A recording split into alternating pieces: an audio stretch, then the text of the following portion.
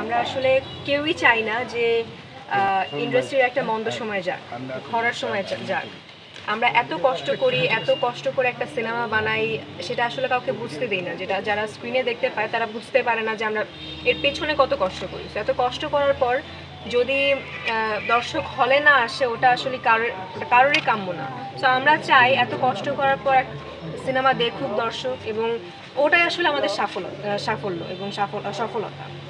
তো দর্শক আমরা আমরা দর্শকদেরকে এইটুকুই বলব যে ভালো সিনেমা বানানোর ট্রাই করছি। এখনকার দর্শকের আসলে অনেক রুচির চেঞ্জ হয়েছে। তারা আসলে ভালো স্টোরি দেখতে চায়, একটু ভালো লোকেশন দেখতে চায়। যেমনটা আসলে তারা বলিউডের সাথে তুলনা করে, হলিউডের সাথে তুলনা করে। আমরা যদি আসলে নিজেদের সিনেমা না দেখে কোনো পজিটিভ কোনো কিছু না বলি, উল্টা আরও নেগেটিভ খুঁজি, তাহলে আমরা কখনোই ওই উদাহরণই দিতে হবে আমাদের। হলিউডের উদাহরণ দিতে হবে, বলিউডের উদাহরণ দিতে হবে। সো উদাহরণই দিয়ে মানে দিয়ে যেতে হবে। সো ওইটা না করি আমরা আসলে নিজেদেরকে সাপোর্ট আগে করি নিজেদের সিনেমা দেখে বলি যে না ভালো হয়েছে তাতে আগ্রহ পেয়ে আমরা আসলে ভালো মানে পরবর্তীতে আরও ভালো কাজ করতে পারব আরও বেটার সিনেমা করতে পারব। সো সাইকো সিনেমা নিয়ে যদি আমি বলি আমার আমি সবসময় শুরু থেকেই বলে এসেছি সাইকোতে আমি আসলে যতটুকু কষ্ট করেছি আমার মনে হয় না এর আগে আমি এতটা কষ্ট করেছি। আমি নেপালে গিয়েছি মাইনাস ফাইভ ছিল টেম্পারেচার সো মানে সব বুঝতে পারবে না আসলে। ওইখানে যারা ফেস না করবে, তারা বুঝতে পারবে না যে কতটা কষ্ট করে একটা কাজ আমরা বের করেছি। বাট এটুকুই বলব, আপনারা হলে আসুন, না দেখে কোনো কিছু কমেন্ট করবেন না, কোনো মন্তব্য করবেন না। দেখে মন্তব্য করুন, যদি ভালো লাগে, ভালোকে ভালো বলুন, যদি খারাপ লাগে, বিনয়ের সাথে আসলে বলুন যে ভালো লাগেনি।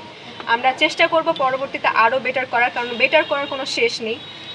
দিন যত যাবে, মানুষের রুচি চেঞ্জ হচ্ছে। এখন এখন যেই পজিশন এখন যেই অবস্থা দশ বছর আগে কিন্তু এরকম অবস্থা ছিল না। দশ বছর পরেও সেরকম থাকবে না। সো আপনারা দেখুন সিনেমা দেখুন, ভালোকে ভালো বলুন, খারাপকে খারাপ বলুন, কোনো অসুবিধা নাই, আমরা পরবর্তীতে আরও বেটার করার চেষ্টা করব।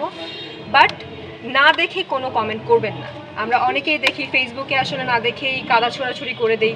এই কাদা ছোড়াছুড়ি না করি ভালোকে ভালো ভালো বলি আর ইন্ডাস্ট্রিকে আসলে সাপোর্ট করি। কারণ নিজেদেরকে যদি সাপোর্ট না করি কেউ বাইরের দেশে এসে কেউ সাপোর্ট করে দিয়ে যাবে না।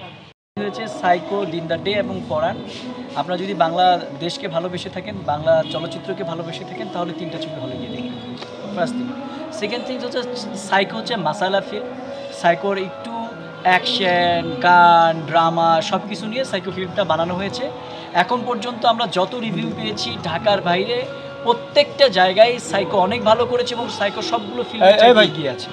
আপনাদেরকে অনুরোধ করব যে অ্যাকচুয়ালি এই যে আমাদের সিচুয়েশন আমাদের প্রচার প্রচারণা এটা আপনাদেরকেই করতে হবে। আপনারা এত কষ্ট করে এসেছেন আপনারা প্রচার করেন এবং সত্যি কথা বলতে যে এই যে পরিবেশে যে পরিবেশে আমাদের দর্শকরা এখনও ছবি দেখতে আসে এবং যে দর্শকদের জন্য এখনও আমাদের কিছু হল মালিক, তাদের হলগুলোকে বাঁচিয়ে রেখেছেন।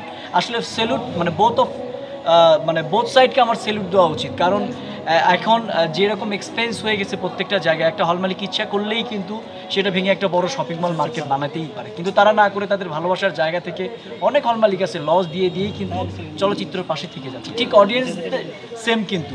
এই গরম, হলে এসি নাই ফ্যান নেই, তার মধ্যেও কিন্তু তারা বসে থেকে আমাদের চলচ্চিত্র দেখছে। তো আমি বলি যে চলচ্চিত্রের দিন ফেরত সমস্যা? চলচ্চিত্র আরও অনেক ভালো কিছু করবে যদি আপনারা সবাই মিলে আমরা সবাই মিলে চলচ্চিত্রটাকে সাপোর্ট করি। আর সবার প্রতি অনুরোধ আজকে যারা যারা এখানে এসেছেন আমাদের সাথে সেলফি তুলেছেন সবাই একটা রিভিউ দিবেন সাইকেল ছবিটা কেমন লাগছে। ভালো থাকবেন। ইনফরমেশন দিয়ে আপনি অনেক ইনফরমেশন জানেন না। বাংলাদেশের প্রথম ওয়েব সিরিজটা আমার বানানো। ছবিটা ওয়েব সিরিজটার নাম ছিল ইন্দুবালা এবং এখন পর্যন্ত যদি রিপোর্ট দেখেন কিছু চ্যানেলে টিআরপি টিআরপি রিপোর্ট দেখবেন। সেই টিআরপি রিপোর্টে এটা বাংলাদেশের এখন পর্যন্ত সবচেয়ে বড় হিট একটা ওয়েব সিরিজ আছে ইন্দুওয়ালা পপি অভিনয় করেছিল, দেখলে বুঝতে পারেন সো এই জগৎটাই আমি সবার আগে ইন করেছি এবং আরও ফিউচার প্ল্যান অনেক বেশি আছে। থ্যাংক